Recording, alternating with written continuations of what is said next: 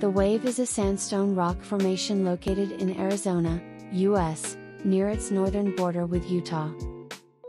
The wave consists of intersecting U-shaped troughs that have been eroded into Navajo sandstone of Jurassic age.